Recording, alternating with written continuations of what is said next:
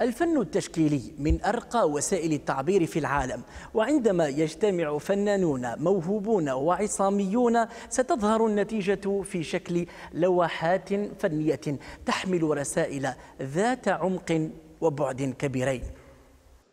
ريشة وألوان زيتية وقطعة قماش هذا كل ما يحتاج إليه الرسام التشكيلي نور كمال ليخرج لنا تحفة رائعة في بضع دقائق.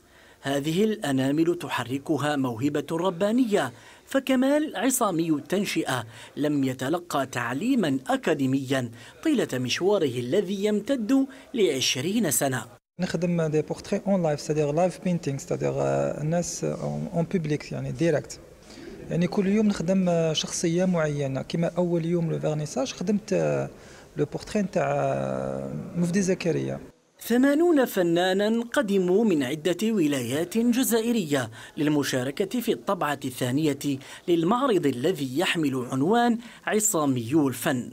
منظمه الفنان التشكيلي الكبير عبد الرحمن كحلان يحاول منذ 2017 نقل تجاربه المتراكمة بالعاصمة الفرنسية باريس إلى الجزائر. هذا أكبر من المعرض وهو حدث ثقافي. donc أنا حبيت ندير هذا المعرض باش ما يموتش. je veux dire y a toujours des événements culturels وكاين ثاني الفنانين يتلاقاو. كما الفنانين العصاميين. بين هذه اللوحات يجد عشاق الفن البصري بمختلف إبداعاته فسحة للهروب من القيود التي فرضتها جائحة كورونا. كما هذه اللوحة آه، قدر كيفاش يوصل الرسالة للشعب يفهم فيها يعني المعاناة اللي عانوا فيها الشعب في هذا يعني الكورونا هذه. وإن شاء الله ربي يرفع البلا إن شاء الله.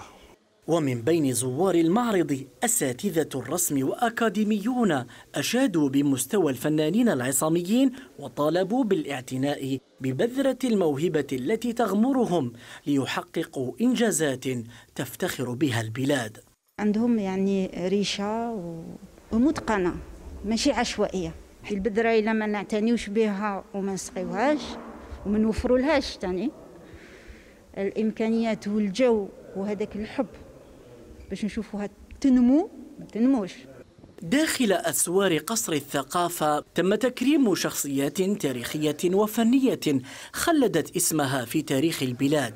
في مقدمتها كاتب النشيد الوطني مفدي زكريا والفنانة الراحلة وردة الجزائرية. كريم قندولي قناة الغد الجزائر.